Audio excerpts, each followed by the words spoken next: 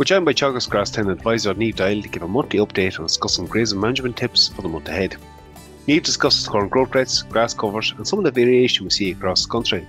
We discuss building covers as we head into the autumn, with Niamh offering advice on reducing demand and fertiliser application. We finish up with Niamh offering tips on current grazing management. Yes, so Kieran, there's a huge variability in grass growth and grass supply across the country. Some parts of the south and east are still experiencing soil moisture deficits, and this is having an impact on growth rates on these farms. So just for the coming week, there is 20 mil rainfall forecasted for the south and 40 mil rainfall forecasted for north, with predicted grass growth on average 50 kilos of dry matter per hectare. As there is such a variability in grass growth across the country, it's important for each farmer to assess their own average farm cover and take action now if behind targets. So continue to walk the farm weekly to follow the autumn grazing targets. Obviously that's going to have a big impact on grazing conditions as well. What have overall grass covers been like on farms around the country? So average farm cover has remained static at 790 kilos of dry matter per hectare over the past week on dry stock farms. There is a variation in average farm covers between the south and the north. The north is receiving more rainfall than the south. So the south is in that soil moisture deficit and it is impacting average farm covers. So it's important to assess where you are in terms of the autumn grazing targets. So compare this to your average farm cover. So if you have a farm cover that's 600 kilos of dry matter per hectare, action needs to be taken to reduce demand immediately. Niamh, building covers are important. What are targets for heading into September? Yes, so it's important to build, to focus on building covers now to ensure good quality grass is kept in front of the lambs for the autumn and winter period, and also to ensure the farm is set up for the ewes grazing in the spring. So your targets then are aim for rotation of 30 days and an average farm cover of 1,000 kilos of dry matter per hectare by the 1st September. Then aim for 20 days ahead at the start of September, building to 30 days ahead by the end of the month. In terms of building that covers, I suppose we have to also be conscious that we might be carrying a little bit more stock into the back end. How important is it to assess demand at this time of the year? So it's very important to assess demand and look at ways to reduce to allow you to build these covers. So it has to be noted that there is lambs that are behind target and you might be carrying them on longer than expected.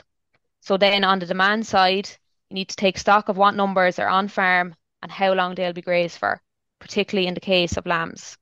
So if you're behind your 20 days ahead at start of the month or you're struggling to build covers, one key action then is to reduce demand by removing culls, selling stores or other livestock and reducing introducing supplement.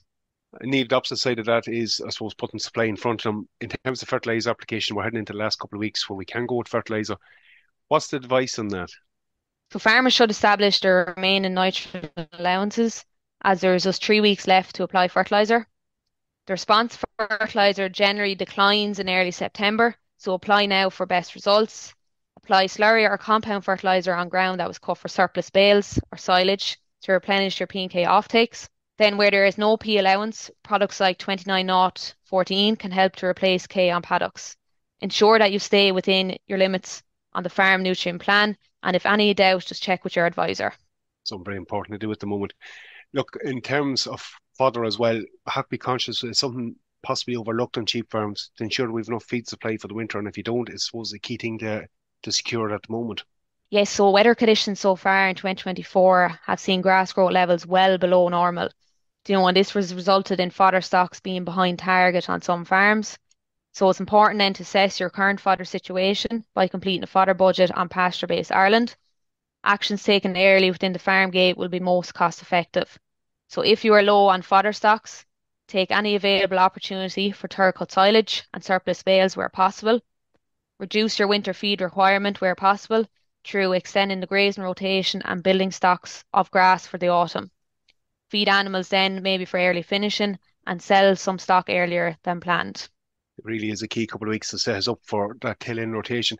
If we come back to just current management, in terms of our grazing advice, what's our target grazing heights, covers, and residuals for lambs and ewes over the coming weeks?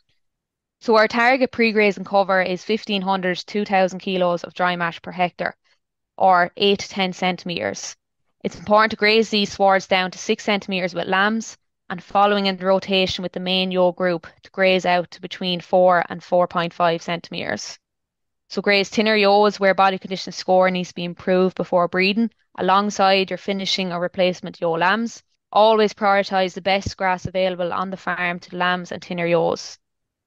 In terms of grass supply, then just aim for your 20 days ahead at start September, billing to 30 days ahead by the end of the month.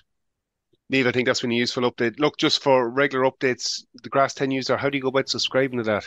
So you can subscribe to the Grass 10 newsletter on the Teagasc public website or in the description of this podcast. Niamh, thanks for having you on. We'll chat to you again next month. Thanks very much, Kieran. We'll leave it there for this week's episode. Niamh will join us again next month to offer some grazing management tips for the month ahead. I have included a link in the show notes where you can subscribe to the Grass 10 newsletter and get weekly updates on the programme. That's it for me for this episode. For updates on the sheep programme, keep an eye on our Twitter page at Teagasc Sheep. I'm Kieran Lynch. Thanks for joining us. Don't forget to follow us wherever you get your podcasts.